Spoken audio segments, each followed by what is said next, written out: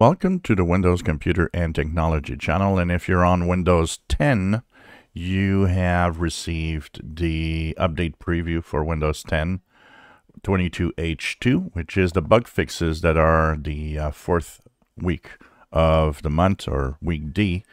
And uh, they do fix a few things and bring something new also. So this is the start for the extended support option in here. So if you um, look at your updates, you'll see that there's an update waiting that you can click on to download and install.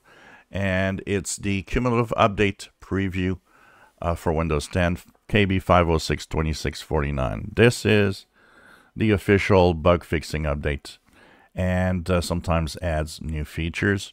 So what it fixes, first of all, is some freezing that some users were reporting. Uh, they fixed the um, the freezing with basically um, the core uh, and um, have, of course, tweaked a lot of the files to make it uh, work better and be more efficient. So if you had some sluggishness and some freezes sometimes, this fixes that. That's one of the first things. It fixes a few little other things, including emojis and stuff like that, that weren't right. Now, um, you've seen a video where I have shown that there was an extended support option that was available. And when you went to your Windows updates in the settings app, you would get a dialog box that would say, well, you know, do you want to have free extended support uh, or extended support? Um, some of you had it in the um, release preview and had told me because I had seen some of the comments about it not working properly you click on it and it either goes away or doesn't do anything.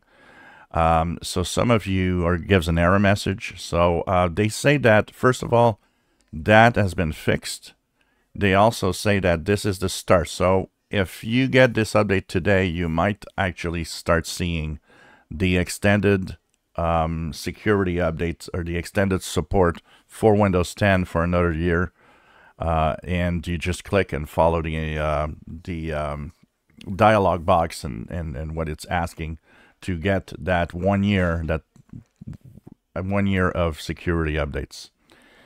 So that will also appear automatically with Patch Tuesday updates in August, and that's where pretty much everybody around mid-August will have that extended support button an option to continue receiving. So uh, this is the start of getting that from this update uh, for the uh, Patch Tuesday, or not the Patch Tuesday, sorry, the bug fixing updates uh, week D of uh, July 2025.